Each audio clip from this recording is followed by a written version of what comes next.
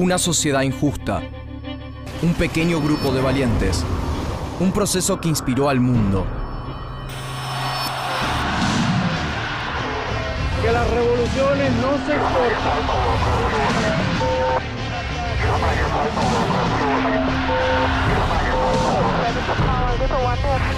Está América de color.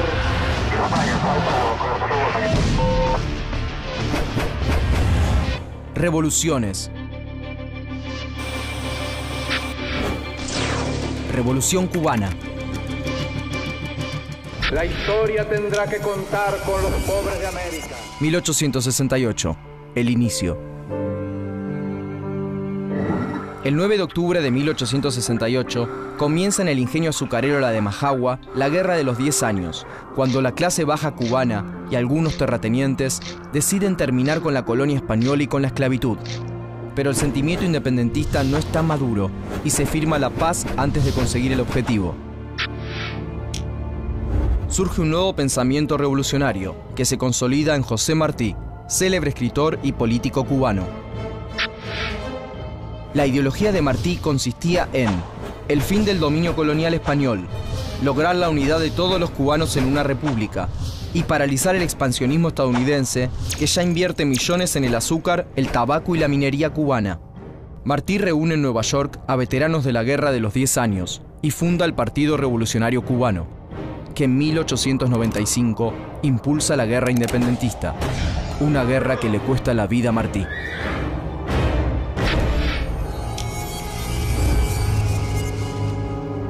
1902. La República de Cuba.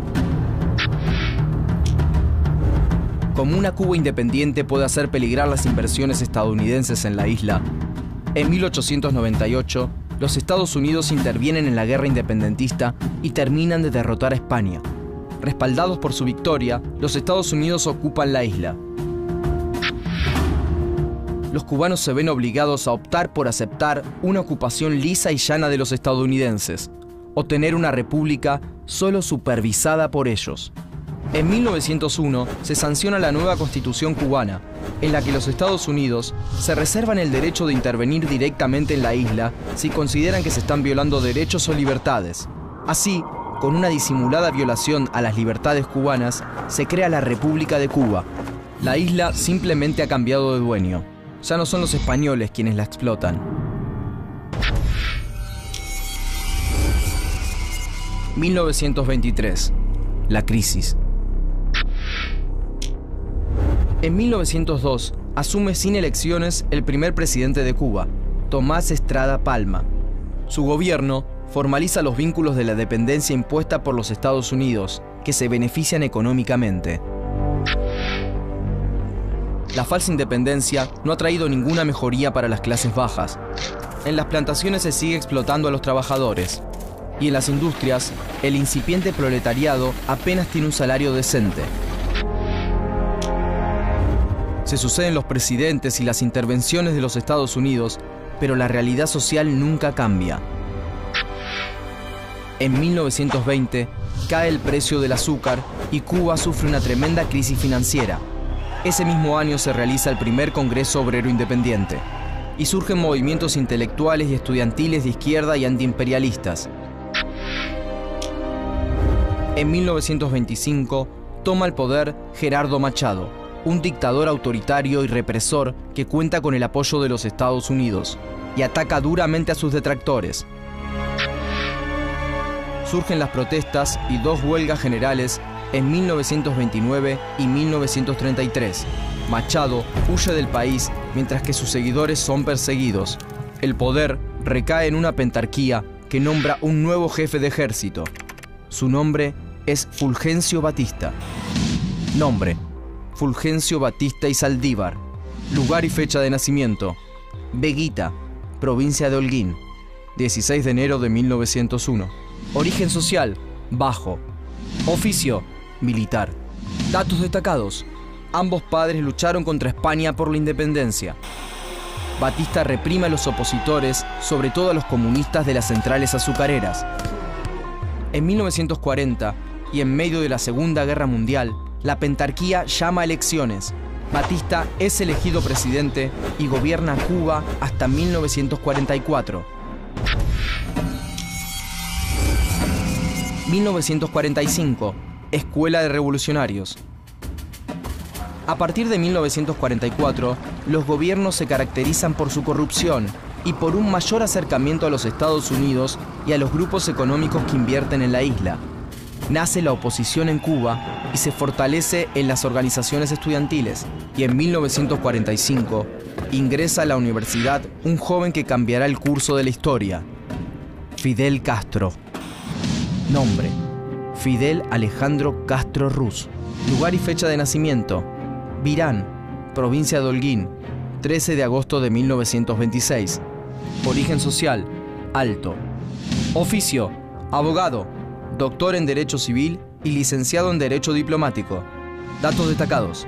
Gobernó formalmente Cuba recién desde 1976 a 2008.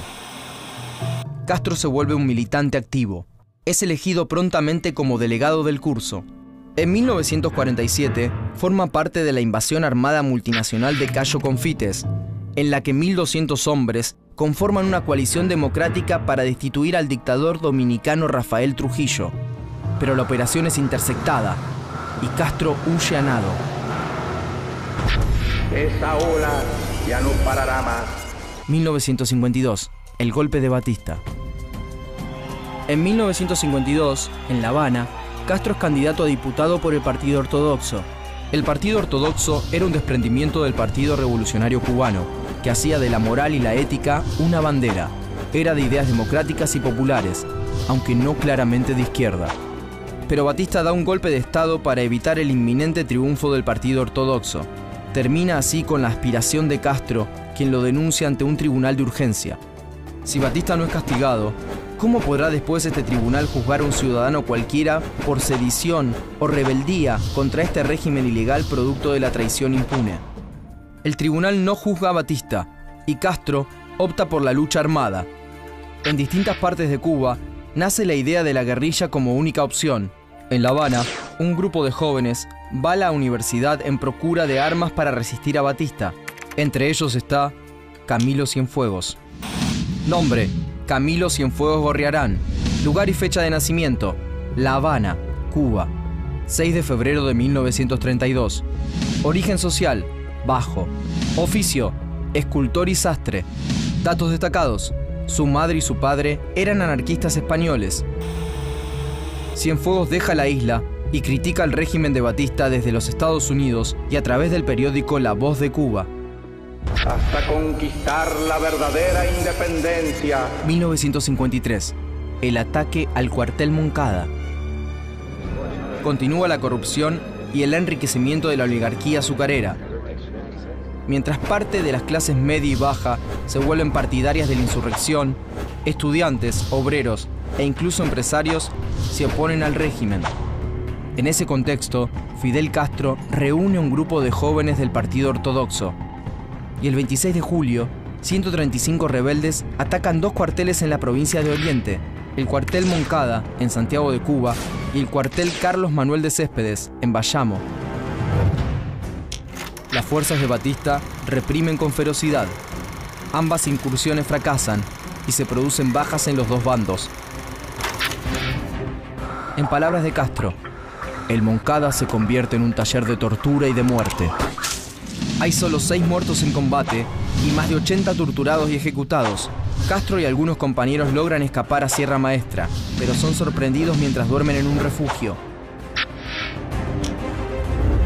Castro es sentenciado a 15 años de prisión en la isla de Pinos, donde escribe La historia me absolverá, un alegato de defensa que retoma ideas del nacionalismo y del antiimperialismo de Martí, se puede confiar en el imperialismo. 1955. La liberación y el regreso. De nuevo en Cuba, Cienfuegos es herido en una manifestación, fichado por comunista y deportado a México. Mientras, Fidel realiza varias apariciones públicas y la presión de distintos intelectuales del mundo hace que Batista deba liberarlo en mayo. Castro se exilia en los Estados Unidos y luego en México con su hermano Raúl. Allí, en el exilio, fundan el movimiento revolucionario 26 de julio y establecen contactos y acuerdos con otras fuerzas que buscan derrocar a Batista. Estudiantes, políticos, la KGB, parte de la CIA y muchos jóvenes idealistas revolucionarios como Cienfuegos y como Ernesto Guevara. Nombre: Ernesto Guevara Lynch. Lugar y fecha de nacimiento: Rosario, Argentina, 14 de mayo de 1928. Origen social: alto. Oficio: médico. Datos destacados: después de la Revolución cubana, combatió en América Latina y en África. Durante todos los meses, ya son 16 los meses que hemos estado en la Sierra Maestra, hoy aprovecho la oportunidad para dar al, al pueblo de Cuba el primer saludo que tengo oportunidad de dar. Un pueblo que he decidido defender, conociendo solamente a través de la acción y del pensamiento de nuestro jefe y del campo. En 1956, 82 miembros del 26 de julio y un cargamento de guerra parten de Tuxpan, en el estado de Veracruz. Navegan siete días bajo la tormenta y encallan en Los Cayuelos el 2 de diciembre y deben abandonar en el yate la mayor parte de sus pertrechos. Tres días después, los embosca el ejército de Batista, que había sido alertado de la misión. Muchos mueren en combate o son ejecutados. Pero poco más de 20 huyen a Sierra Maestra, dispuestos a enfrentar a los 75.000 soldados de Batista.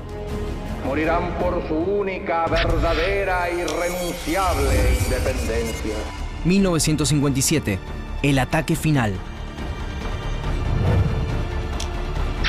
Durante 1957 y 1958 se suceden numerosos combates y el pueblo cubano, cansado de Batista, pone sus expectativas de liberación en los rebeldes. Y el movimiento engrosa sus filas a medida que avanza por los pueblos y campos cubanos. En 1958, Batista ordena una fuerte ofensiva en Sierra Maestra, pero ante las numerosas bajas, el ejército se retira.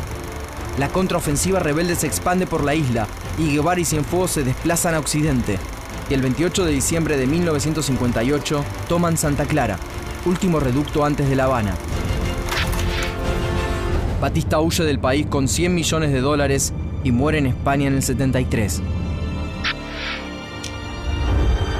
Castro entra en Santiago de Cuba y forma un gobierno revolucionario que se vuelca con el tiempo al comunismo. Dorticosto Rado, un político afín a Castro, gobierna en su nombre hasta que le pasa el poder recién en 1976.